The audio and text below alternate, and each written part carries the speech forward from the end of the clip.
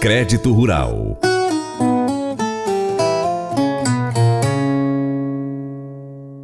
Bem-vindo ao Paracatu Rural.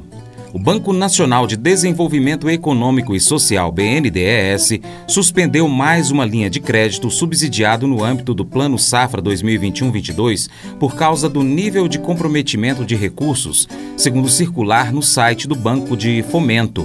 Desta vez, foi uma linha do Pronaf Investimento destinada à aquisição isolada de matrizes, reprodutores, animais de serviço, sêmen, óvulos e embriões.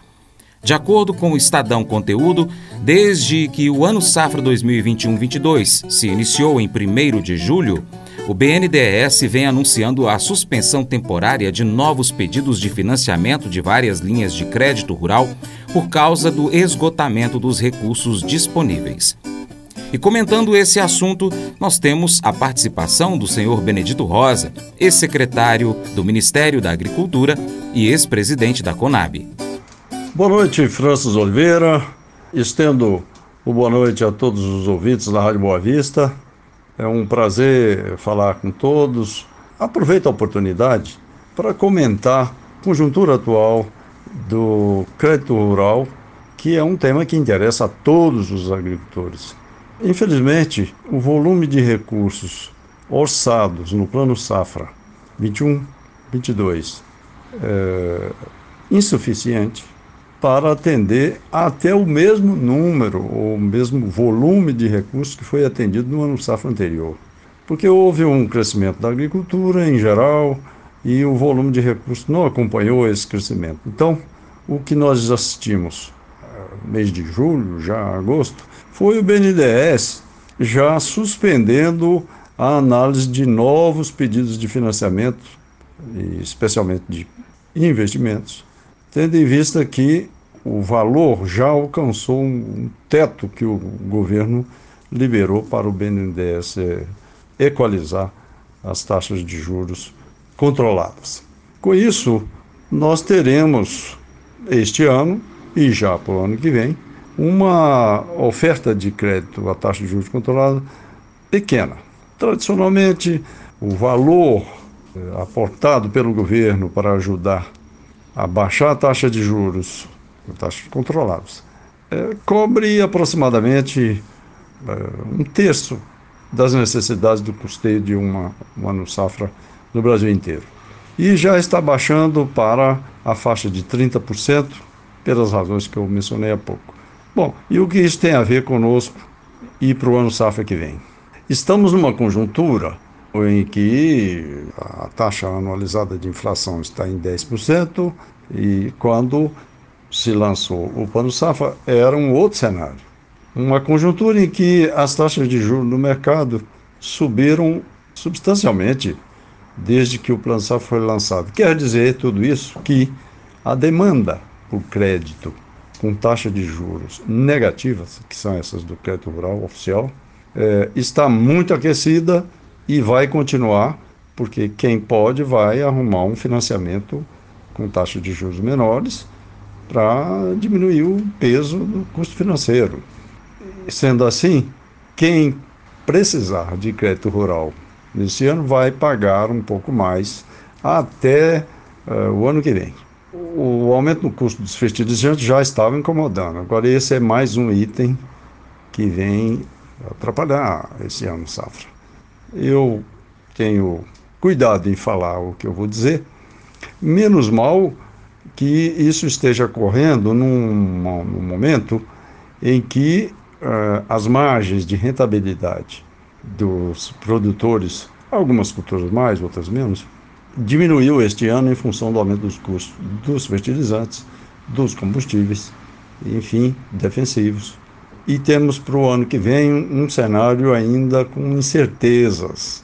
Sendo assim, melhor que os agricultores eh, avancem com cuidado em investimentos, justamente o crédito onde o BNDES está cortando. Avance com cuidado, porque eh, as margens podem ser mais apertadas no ano safra 22-23 e eh, convém, como ensina o jargão popular, Durante o nevoeiro, melhor levar o barco devagar. Não é momento para fazer grandes investimentos.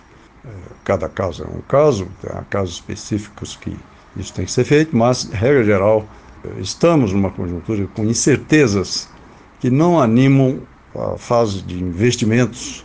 Melhor tocar com cuidado, garantir rentabilidade do que jogadas ousadas com crédito caro num cenário de incertezas.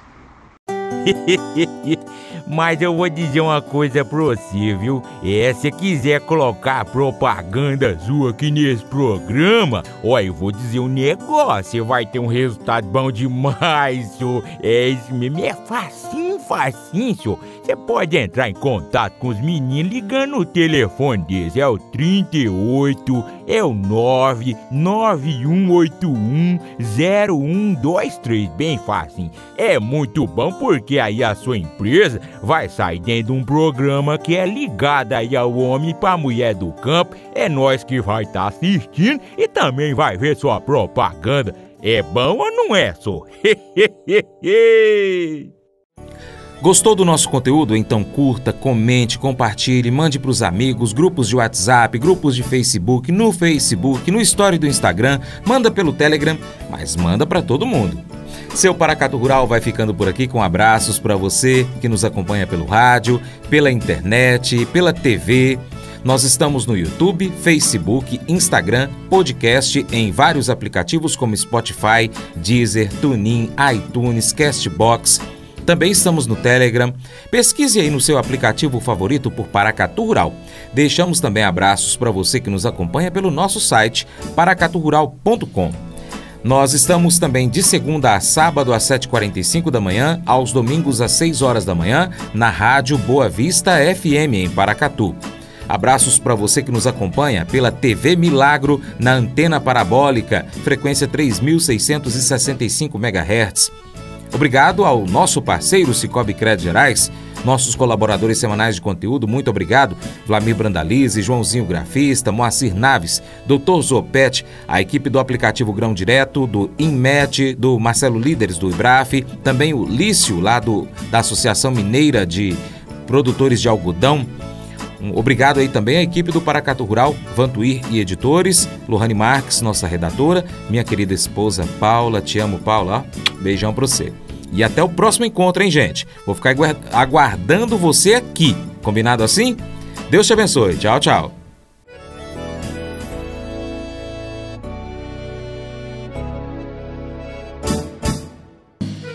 Acordo de manhã para prosear no mundo do campo, as notícias escutar. Vem com a gente em toda a região com o seu programa Paracatu Rural. Tem notícias, informação e o mais importante, sua participação. Programa Paracatu Rural. Programa Paracatu Rural.